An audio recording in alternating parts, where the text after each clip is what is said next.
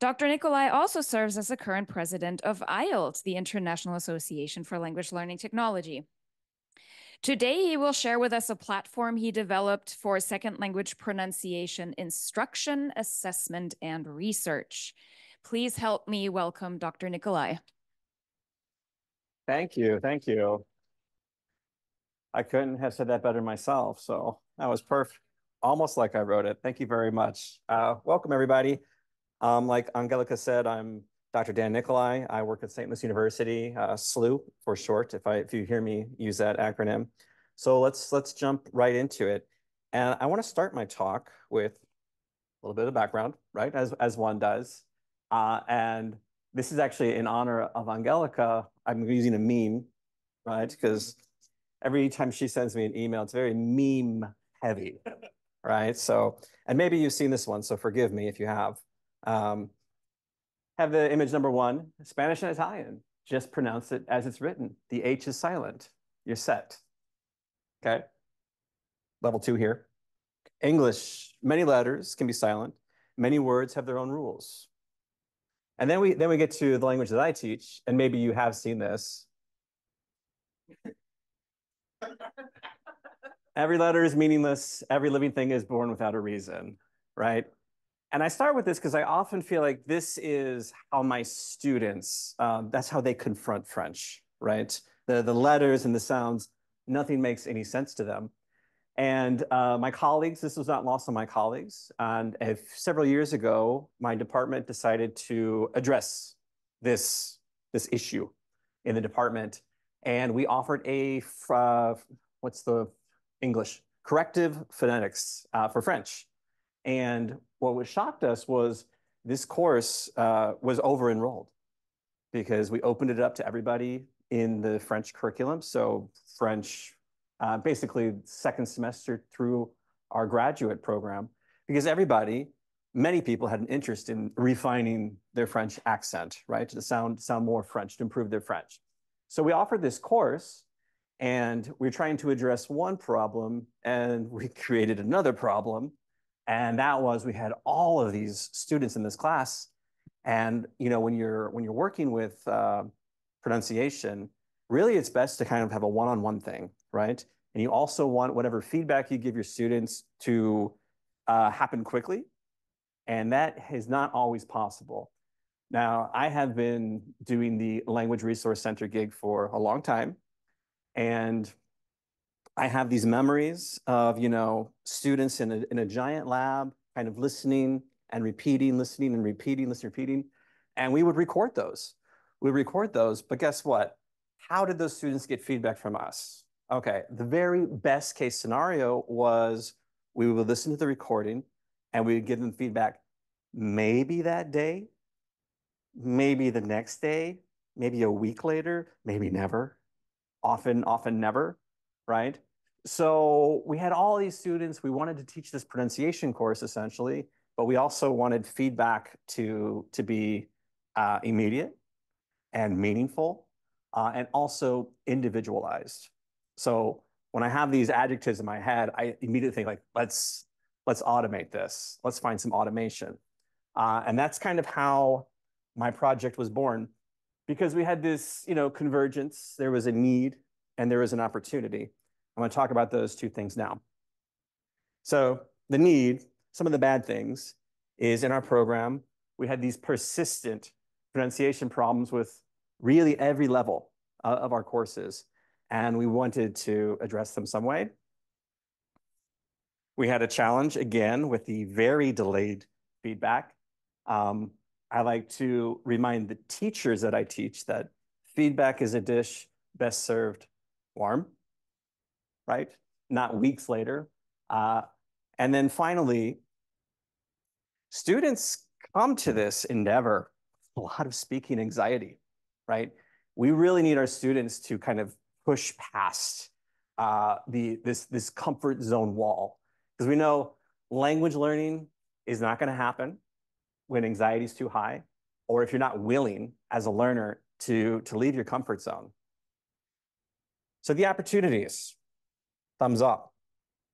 So when we were offering this class, it kind of converged uh, with the same time that Google released their multilingual automatic speech recognition uh, tool inside the browser. And so that was kind of in my head. This class was in my head. I'm like, okay, maybe there's some, there's an opportunity here. And there are other vendors at the time when this project started that were offering really, really low cost uh, text to speech. So the synthesized voices that you hear uh, kind of sound, they used to sound very robotic, very mechanical. Uh, over time, they've gotten much better, I must say. So this was another kind of uh, opportunity for us. And finally, I've been very fortunate my entire career to have deep institutional at the university, college, and department level uh, for my crazy projects. Um, some of that support comes from our very own Language Resource Center. Um, but also with a project like this, we knew there would be uh, an opportunity to get external funding. And in, indeed, that is what we ultimately did. So there was the convergence. Now, in my job, as uh, Angelica mentioned, wear a lot of hats, right? And every single thing I do kind of has this uh, three, three perspectives, three lenses that I approach every, every aspect of my work is approached with this mindset. And this also corresponds to the stakeholders in, in a project like this. And those stakeholders, of course, are the language learners, the students themselves, right? Key group, key group.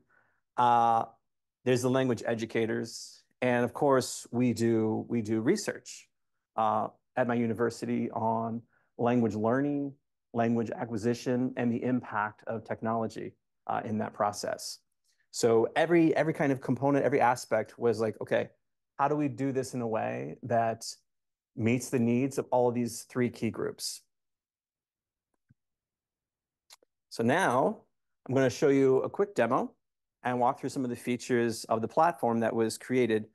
Again, originally, uh, the platform was created as just like a proof of concept. Um, I'm like, okay, I'm going to put something together quickly for this group of French learners. Then it kind of got away from me. Um, and it became much bigger. I, I shared this uh, tool, the French tool, at an IALLT conference uh, in 2015. And there's all this interest like, hey, does it support Mandarin? Does it do Japanese? Does it do this, this, this? I'm like, well, give me a minute. Uh, we'll, we'll add those things. So uh, the current project, I'll pull this up here. And again, the, the pronunciation is iSpraak, rhymes with lock. Uh, and it's at ispraak.net. And I, what I tried to do was kind of retain the, the interface from the first prototype because we had a lot of users um, and I wanted to keep the experience uh, more or less unchanged for them. But the idea is very simple. Uh, and you can do this, there's, there's no cost, there's no, you don't even need an account to get started. It's very simple. You as the educator, you put your email address in, you decide what language of instruction you have. Uh, currently, iSpraak supports 36 different languages. And inside those languages, uh, sometimes dozens of regional uh, acoustic models. Like so, especially for a language like Arabic, sounds very different in Morocco than it does in Lebanon. Uh, Spanish as well. If you have a, a, Spanish instructor from Argentina, right, uh, and maybe that's a factor you want to take into account when you're creating these models and where students are practicing. So we'll, we'll show the regional models in a bit. But to get started, we're just going to Everyone speak English? Okay, I meant to check beforehand, but we're good. We'll, we'll start with an English example. And the next uh, field here that I have to choose is iSpraak can generate automatically uh, a synthesized voice using text-to-speech, okay? Alternatively, if you want a more natural sounding voice, uh, you can provide your own audio file that you upload in the next screen. Or right now in the browser, you can record your own prompt. Uh, we're gonna go ahead and go with the, the, the, the easy button here, which is the automated voices. And here I'm just gonna write a short text, okay? Um, and again, we're in English, so let's, uh, he built a chip that revolutionized the industry. Okay. And good, English detected. Many people will type in Japanese things and it will, yeah, it will yell at you for if you don't have the right language. All right, so you see what I've done. I went to the I went to the website. I, I typed in just my email address, select a language, text. I'm going to click on make activity, and that's it. I'm done. So what I have now is I have a student link that I can copy and paste, and then I have a private uh, instructor link that I'm not going to share, but I'll use to see the progress of the students on any given activity. And then as a student, uh, we'll pretend we're a student. This is the screen they see. And again, this URL I just clicked on, that's the link that gets copied. Uh, the student's instructed to provide their name, their email address, and that's it. The, these, these fields are, you're not required to use uh, a real email address if you have concerns with your university for whatever. You can also always do activities anonymously. There's a little link here. Um, but if you want to track which student did what, uh, you will, of course, need to have them provide their name. All right, so as a student, I'm gonna click Start Activity.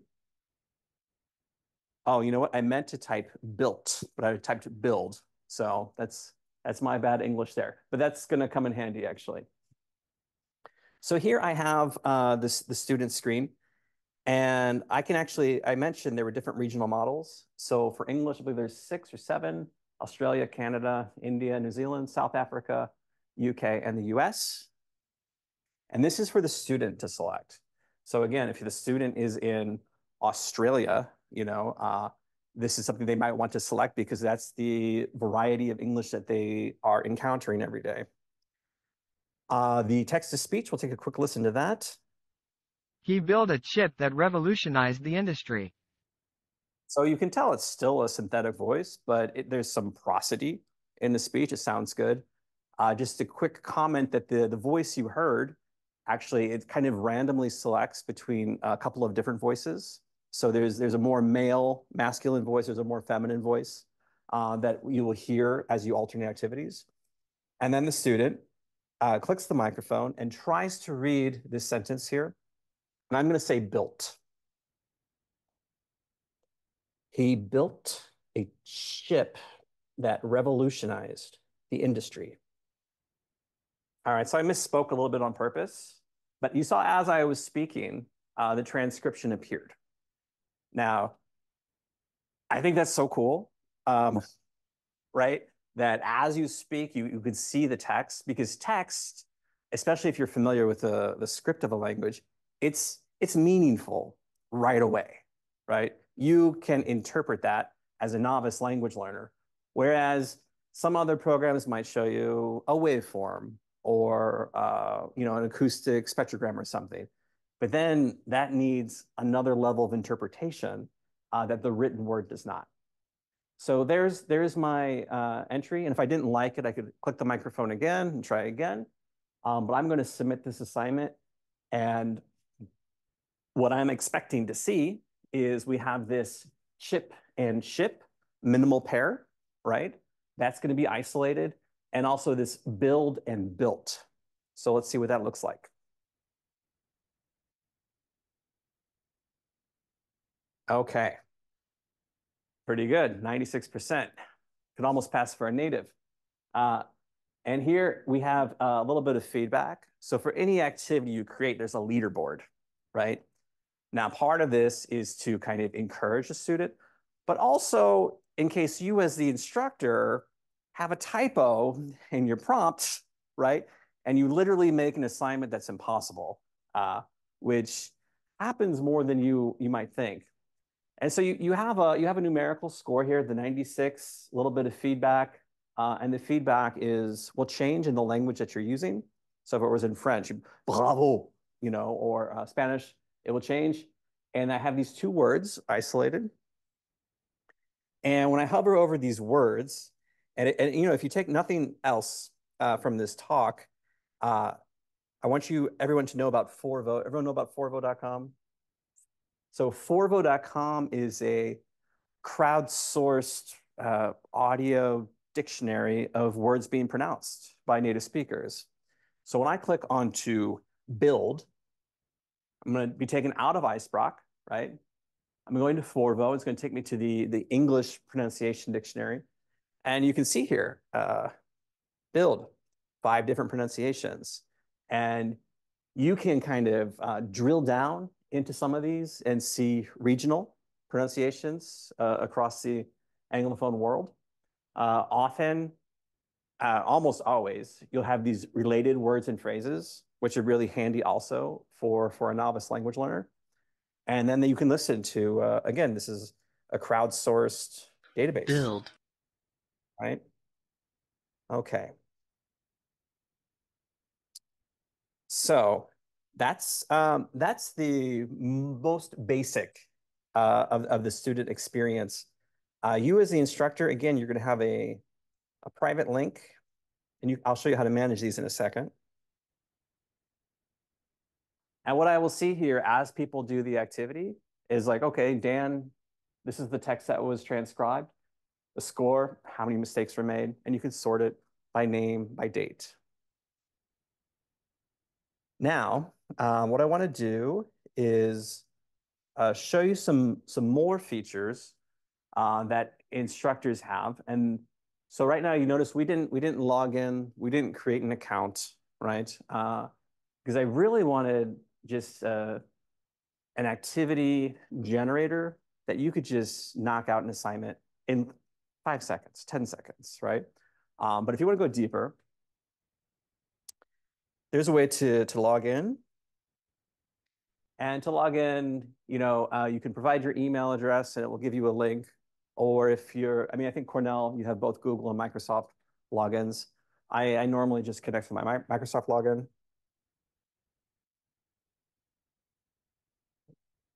So here is my, here's my, I'll zoom in a little bit. Here's my instructor dashboard. And you can see here is that assignment that I just made, and they're listed uh, chronological, reverse chronological order. And so I can see all of the activities that I've made with this email address. And if I hover over, I can, I can copy the student link. I can click here, copies the student link to clipboard.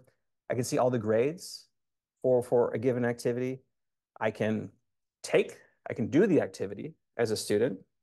Uh, and then I have some stats too. Um, so I'm going to go into a French one. I don't want to divulge any actual student data here. Uh, so I'm going to go into this French activity to give you an idea of some of some of the uh, simple stats that you can get uh, through the tool. So here we have uh, listed alphabetically words that were missed by students doing this activity. And you also have kind of a top five. So the most commonly mispronounced words for, for any given activity. And also, which is uh, uh, new uh, since we got the grant funding, is you can see how students progress over time. Just take a second to load. And so you see here kind of an anonymized student ID with the first score, final score, highest score, how many attempts with some stats. So on this activity, average improvement of 22% for students who repeatedly engage with the activity, right? So somebody who does the same activity more than once, you can kind of see their growth.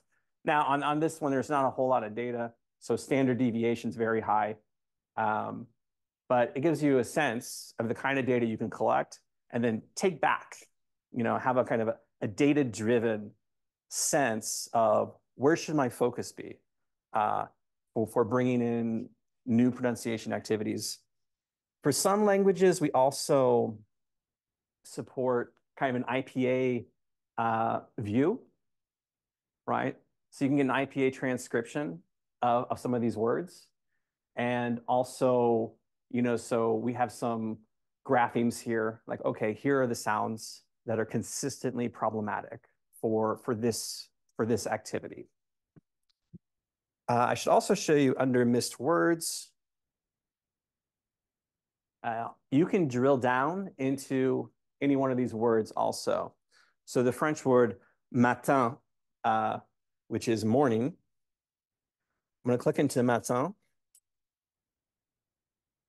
And it gives you some quick stats, okay, about this particular word. So I have this word in two different activities, this one and another one somewhere in my list. I can see how many times this word's been attempted, how often it gets mispronounced, uh, the success rate, so 85% here, but also italicized in the bottom, it looks at all of the data.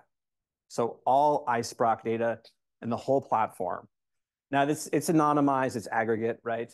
But you can see, um, yeah, so besides me, eight other people have this word in some activity. Uh, and the success rate of this word is, is 80%. So it kind of gives you a sense of like, it's, it's also interesting to see because uh, 85% here, 80% here, like, okay, it's probably, there's, there's a correspondence there.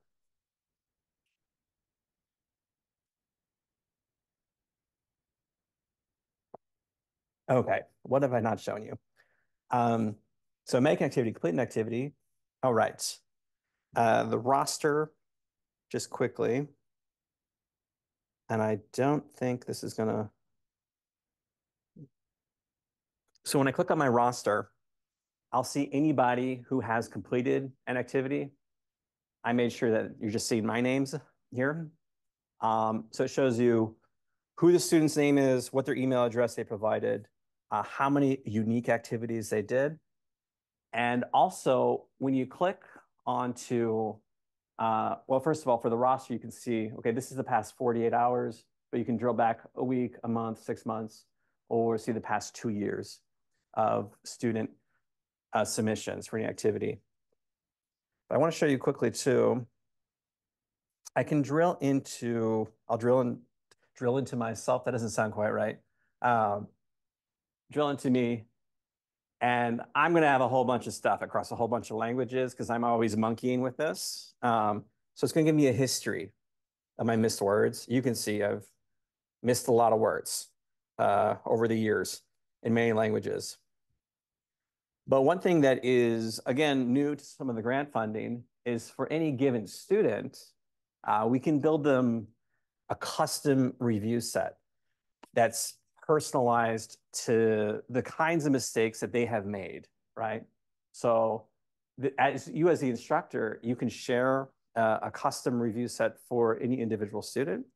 And so when I clicked onto this uh, review, I see, all right, the program has prepared 19 activities for me to work on through, and it's going to be a, a whole lot of different languages and different words. I'm not going to go through them, but the, the activities are chained together, right? So, well, I'll go through.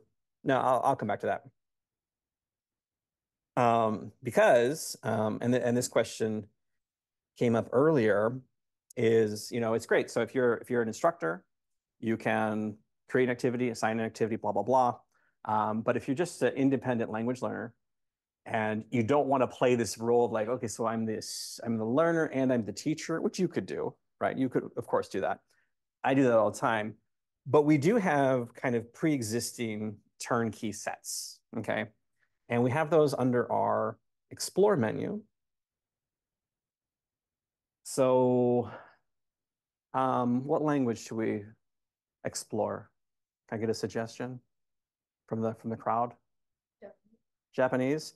I'm glad you said Japanese. Let's go to Japanese. I don't know how many Japanese sets we have um, maybe just a couple. Okay, we have a few. So it looks like we have uh, five that are created. And everything with the star has been vetted um, by somebody. It went through an additional layer of uh, scrutiny. So let's go to, because um, I think I can only handle Japanese basics, okay? But to give you an idea of how these are strung together, so it says, welcome, you're about to begin, this collection has 10 activities, get started. And Japanese is great too, because I can showcase one other feature I didn't talk about yet. Okay, so here goes nothing, literally nothing. Uh, all right, I'm gonna zoom out a little bit. Okay. So here I have uh, my text. I believe that says height, right? Okay. I, I can listen to it. はい、Hi. And for the non-Latin based alphabets, uh, we have a, it's a little subtle, but we have a, we have an ABC uh, overlay here. And what's going to happen is when I click on this, you're going to have height. So if I'm not familiar with the script yet, I can get a little bit of help. And then height. Okay, Submit. Oh, check that out. Yeah. And now you see this large flashing arrow like, hey, go to the next one, dummy, uh, which is what I'm going to do. Oh, okay, hold on. Um, I'm going to cheat. Okay. I'm going to listen. Yeah. Yeah. Yeah. Thinking. It's like you don't sound Japanese. Okay. So, and then there's there's eight more activities uh, that go on just like that until until the very end. And you as an instructor, you can, of course, you can build your own sets. You you create whatever five, six, seven, eight activities, just like I showed you. You you can log on uh, as an instructor. Bum bum bum. Let's see here. And you can you can create a set, and you can see I have I have a bunch of different sets here. You can make your set private uh, when you create it because you just want it for your students. You can also set it to public. So the public sets show up in that explore, right? So if you want to contribute a set to the larger iSpraak uh, community, uh, I would appreciate that. And I, I think it's great that you can do that. But if you don't want to, you don't have to. So for example, create a new set. Um, okay, street Portuguese. What was I thinking? Uh, I'm going to choose Portuguese. I'm going to keep this set private. And it's going to be added to my, my list of, of sets somewhere under uh, P, very last one. And what's going to happen now, it's going to show me every activity I've ever made in Portuguese. And I can add these to the sets. So uh, we'll do this one.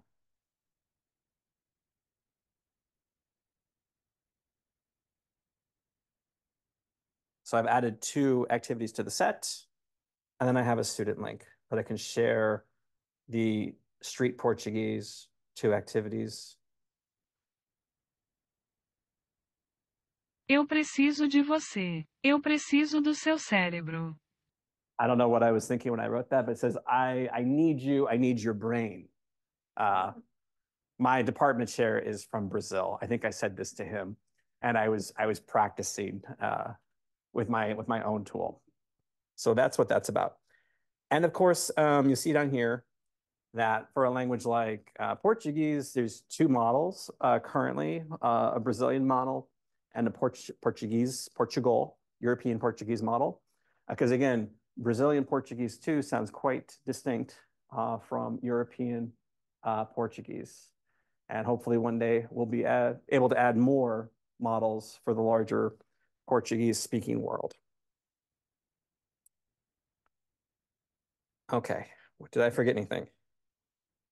Oh yeah, so we saw we saw the dialect support. Uh, so a language, yeah, like Arabic, I think we have uh, 14 regional models. Uh, Spanish, uh, 16 uh, models. Uh, French, French for the text-to-speech, we have a Quebecois voice and a European kind of very normative French voice. So that's that's that. Um, so other hat is my hat as a researcher. Uh, this article just came out uh, this month uh, in System, which is one of the journals uh, kind of devoted to my field, which is computer-assisted language learning. And I, I wrote this uh, as a systematic review that I wrote with two of my graduate students. And what we did was we tried to identify as many papers as we could that investigated empirically uh, the impact of automatic speech recognition. Because it's, it's a big kind of, I would say it's not an unanswered question, but it's a question of great interest to, to language educators looking to adopt a tool like this, especially if they're replacing something that seems tried and true. So what we did was we uh, meticulously analyzed uh, what ended up being 50 papers that kind of explored different things, uh, different claims that have been made about the efficacy or impact of automatic speech recognition technology. And we just focused on uh, studies since 2012 because the technology has changed a lot, um, especially around that era. So ultimately what we did was we like we we went through all these papers we looked for themes common common claims and we came up with five claims and we tested uh, how compelling the evidence was for any any given claim. And so one of the claims is that you know these tools they're they're effective at isolating errors right? And they don't not every tool does this the same way. One common thing that uh, was used in the study was students interacting with Google Docs and just selecting the microphone, selecting the microphone and speaking. And so the feedback they get, it's positive feedback, like, oh, that's the word I wanted to say, and that's the word I see. That's one type of feedback they get. Another type of feedback they get is kind of a substitution, like, that's not the word I wanted to say, but that word popped up. And another type of feedback they get is just omission. Like, I'm saying this word over and over, and it's not transcribing. Uh, so again, we looked at 50 different papers, uh, and we found compelling evidence uh, across many empirical studies that actually, yeah, it's pretty good overall at isolating errors for, for L2 uh, speakers. Also, the question comes up a lot like, okay, yeah, it's good, but I know, you know, I have firsthand experience. It's not great, right? So what we did was we looked at studies that focus on WER, which is word error rate, okay? And to give you some context, word error rate for a human transcriber is about 4%, okay?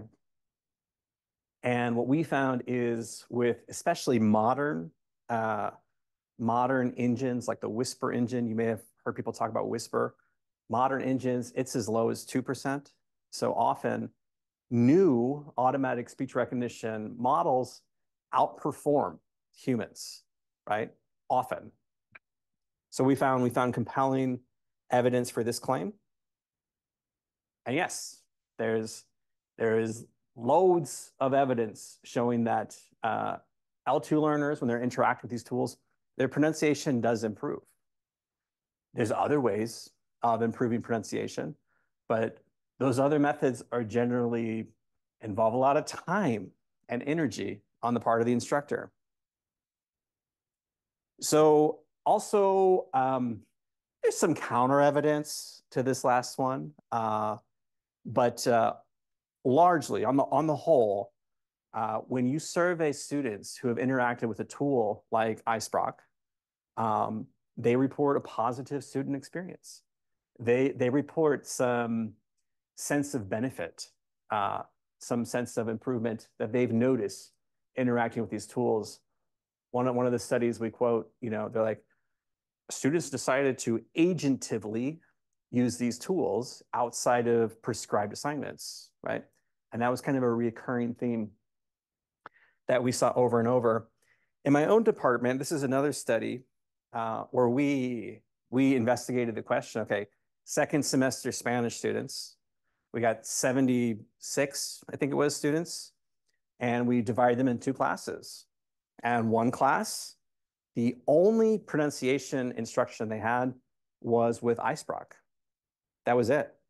And then the other half, we gave them weekly uh, instructor-led pronunciation training, explicitly drawing their attention to certain sounds.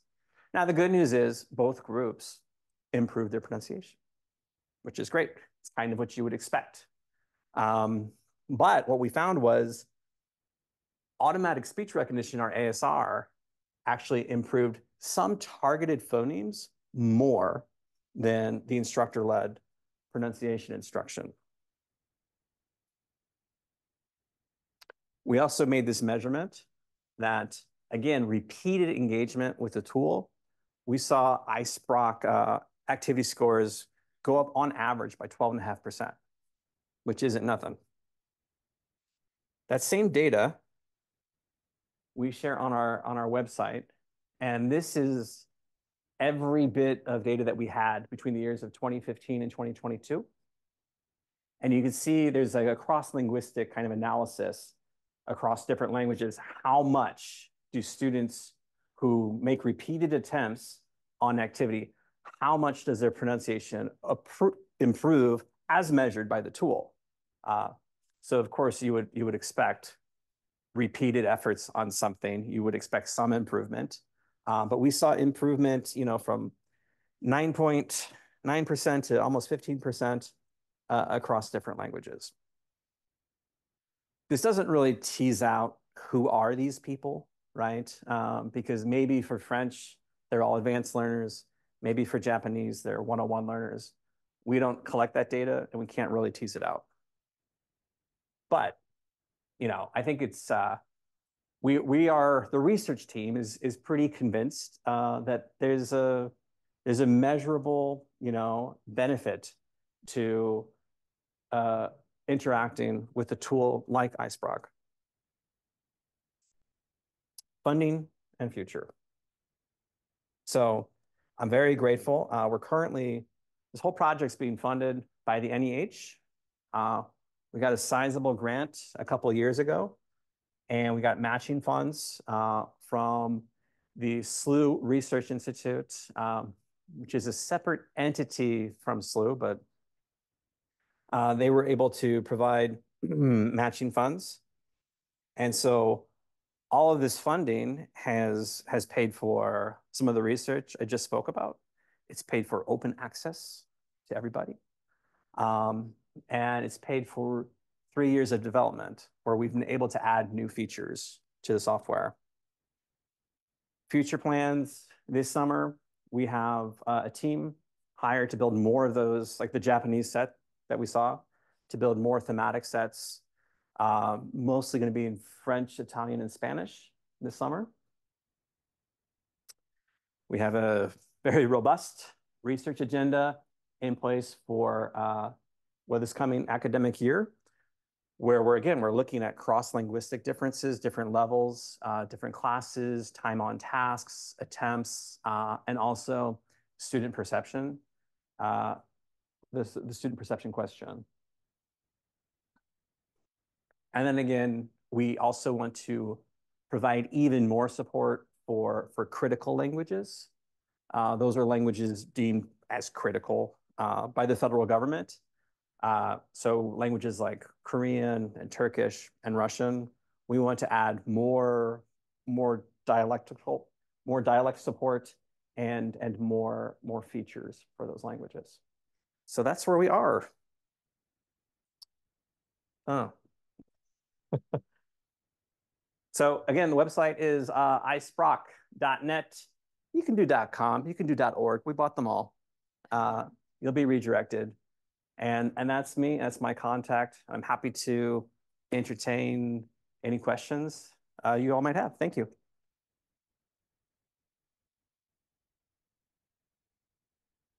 Wonderful. Well, Dan, thank you so much for introducing this uh, great tool. Before we take questions from the audience here, um, we do have a question online from Misa. Misa is asking, is there any way to incorporate iSpraak into Canvas, especially into the Canvas quiz or assignment feature? This question is asked quite often. Um, and so we are, I have a a graduate student right now in computer science, and he is working on the LTI integration for, for Canvas. So LTI, it's, it's a protocol that allows whatever your LMS is to talk to some other tool. And so we are in development right now. I'm hoping um, that will be finished this calendar year.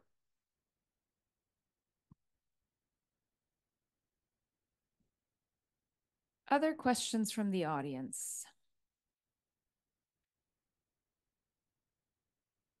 A very nice talk. Thank you very much.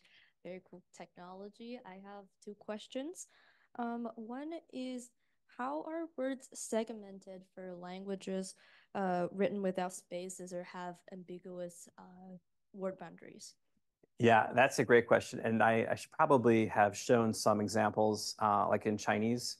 Um, so what we do is uh, for Chinese, the, the words or the characters that you'll see in the Forvo section, that's, that's by character, right? So you'll get, you'll get character level feedback for words without spaces. Now, for Chinese in particular, we also, we convert uh, a string without spaces into pinyin, and then the pinyin has spaces. And then we can also, when you do a Chinese activity, the student will see pinyin feedback with the words separated.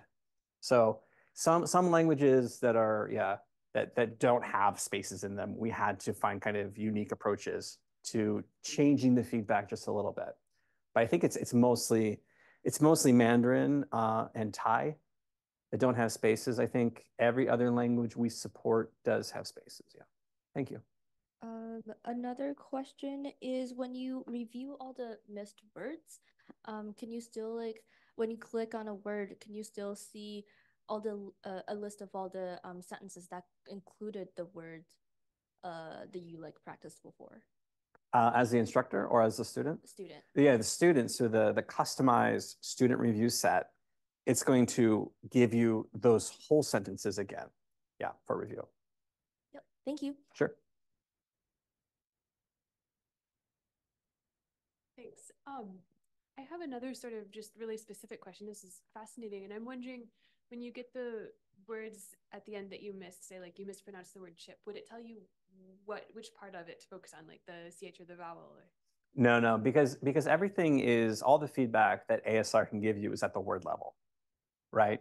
Um, so the other thing I briefly showed you was the uh, what we're calling IPA insights. And so what that does, it systematically analyzes each word for like, where are the common clusters of letters? Because we're trying to, that's the kind of feedback that's like, you know, that's the holy grail, right?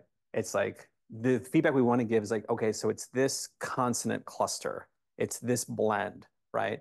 Um, so we're trying to infer where that is, but we don't know for sure, right? So that's, it's something we can kind of infer, but we can't say with any certainty.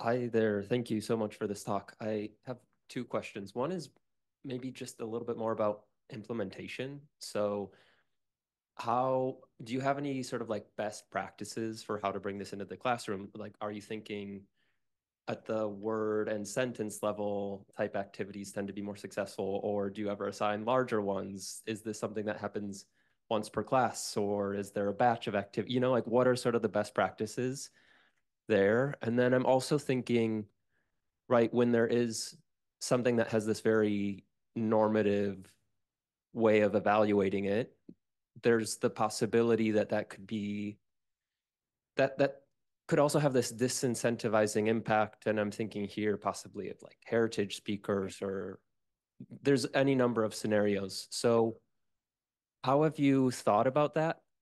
Um, so yeah. yeah, those are the two questions. Great questions. I want to take them in reverse order because um, it's something that's uh, I'm very sensitive to, right? Um, especially when I teach French.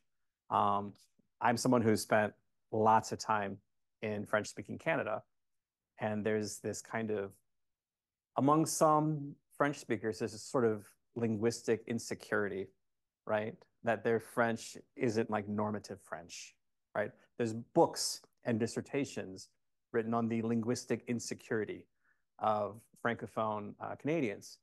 And so what we can do with the technology we have is add those regional models, right? Both uh, the acoustic model that the student can select and also the, the TTS, the text-to-speech.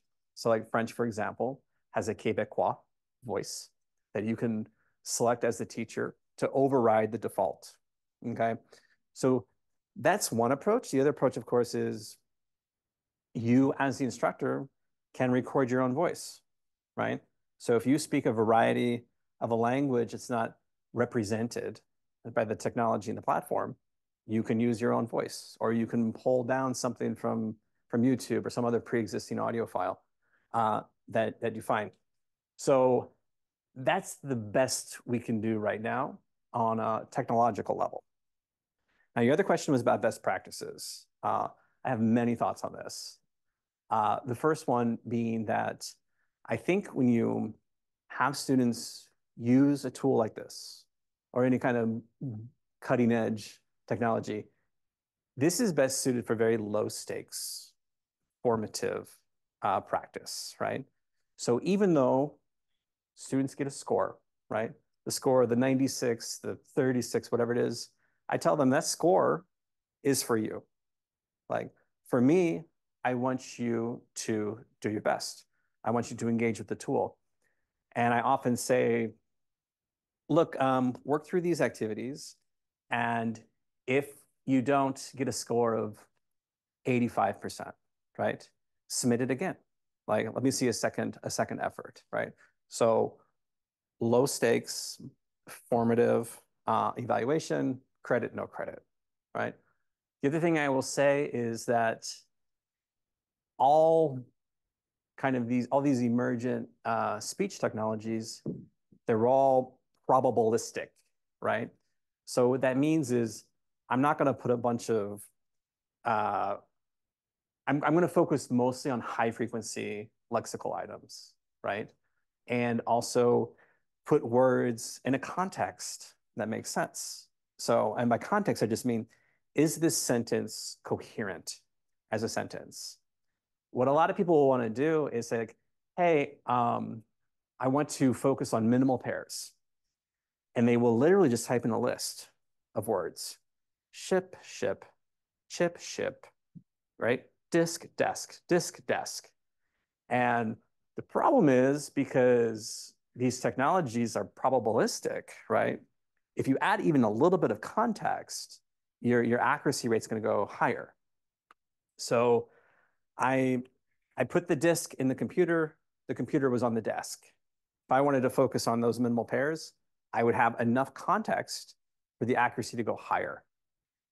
Now, that also means, um, let, me, let me also say that speech recognition as a technology, it's a lot like spell check. And that spell check was not designed to teach you how to spell, right? So some things will be hyper corrected, right? if you if you say into any um, speech recognition system, I really enjoy eating fist food. Okay, now I said fist, not fast, right? But the ASR might hypercorrect it and change it to fast because that's a that's a collocation, right? Those two words are always together. So you have uh, with this technology, you have false positives, you have false negatives, but I think, again, this is a, a mechanism for practice that's low stakes and formative. Yeah. Thank you for introducing this. I just have two kind of practical questions. One, I'm trying to think about how to integrate it into the classroom. Um, so I teach international graduate students at Cornell. I teach them English. So like for example, last week they um, were practicing introductions where they shared their research interests, but I'm, I do not give them grades, and really this is meant to be self-directed in terms yeah. of a course. So, I mean, how would you recommend they use this in terms of? I mean, would they put their own emails in and they put their own introductions in and get feedback? And I mean, because I'm not going to give them a text because it's individualized. Right, and I, and there's something I will show you real quick. Um, the, the short answer is yes, that's what you would do. They, they would play the role of the instructor and the teacher.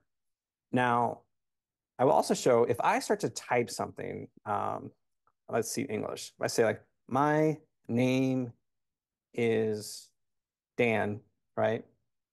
You're gonna get a little bit of feedback right here. I've got to say you can create a wild card because it sees the my name is, and maybe you want the students, maybe their name is not Dan. So you can do wildcards in here.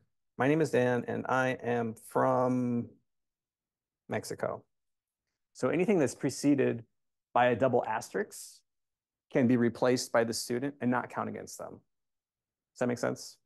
Doesn't make sense. Like meaning a wild card can be anything personalized. Anything. Yeah, I mean, I was I was thinking a name is very common, right? Uh, I'm from Mexico and I study whatever subject. Okay. So make this more obvious.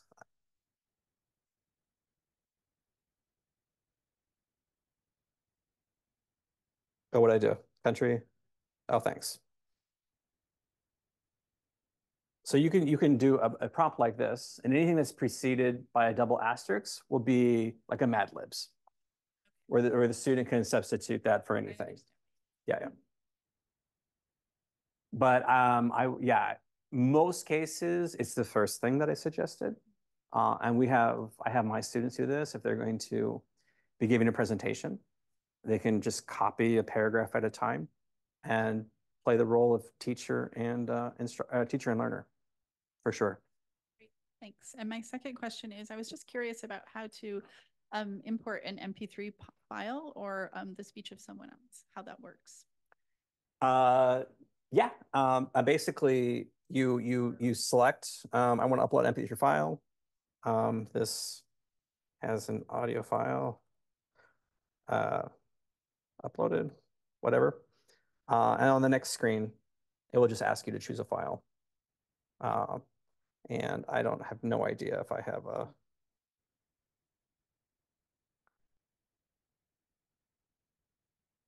but that's that's the that's the idea. Sorry, I'm not going to be able to find one quickly. Um, but whatever whatever file you select, right, that will be that will appear in the player for the student. Um, it might be more obvious if I do do it one now. Um, So I'm going to record my own. This is a quick demo. I'm like, I can listen to it to confirm it's good. I can use this audio. And then when I review this, this activity as a student, this is a quick demo. And I didn't show earlier, but you can slow down. Uh, this is a quick demo. Right. And it tries to keep the, the pitch, but slows down the, Well, so the, yeah, so you will, you include the text and the audio, right? So yeah. Sure thing.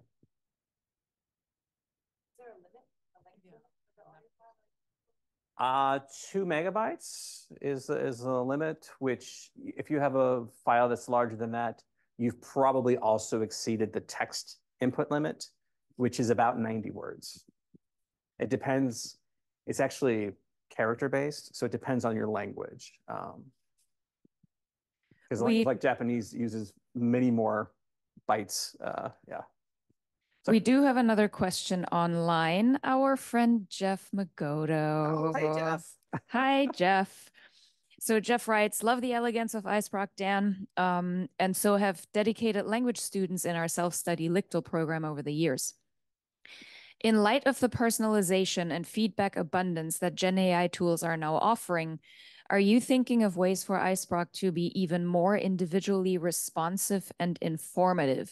So basically more of a student-driven tool while you're not losing all the great data that you're collecting on student progress and perceptions? Yeah, so that's that's a great question. It's definitely on my mind um, because basically it seems like every tool now, like they're trying to shove jet chat chat GPT into it, right? In some way. Um, so of course it's been on my mind. And one of the things we're working on with the same thing when I showed the, the IPA insights, right? Uh, one of our uh, kind of functions that we're working on right now is to take that data, right, and create novel sentences that uh, bring in those sounds that we're inferring are the problematic sounds, right, just based on their prevalence. So again, if I see this uh, SHCH consonant cluster over and over in the data, then I can feed a request to OpenAI and get a totally original sentence that focuses on that. I, I get 100 sentences that focus on that and build a individualized uh, set for a student.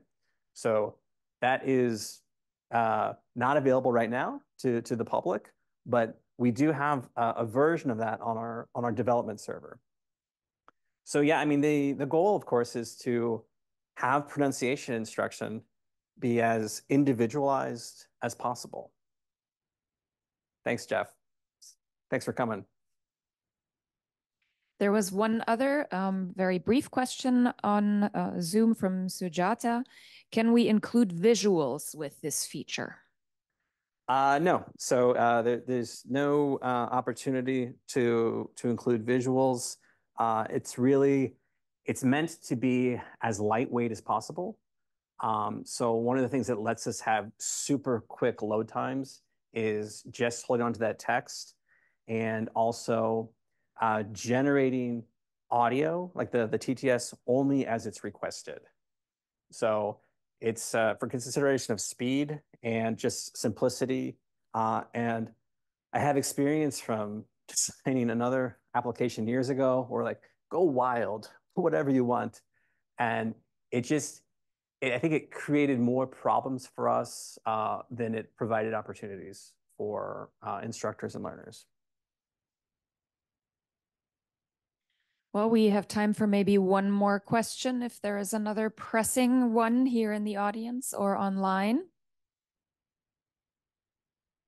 The best way to, you know, do anything with this, just play with it yourself. Um, the language you teach, the language you're learning, language you aspire to speak. Um, and yeah, you'll, you'll find its you'll find its strengths and its weaknesses, and you know over time you'll develop a second sense for what makes a great activity uh, and how can I best implement this into my class. Wonderful. Well, thank you, Dan, so much for joining us here today. Yes. Thank you for having me. And good luck to all of you for the end of the semester. This was the last event in our series for spring, but we look forward to seeing all of you for our end of semester workshop on May 8th. And then again for what promises to be an exciting series in the fall. So thank you for joining us today.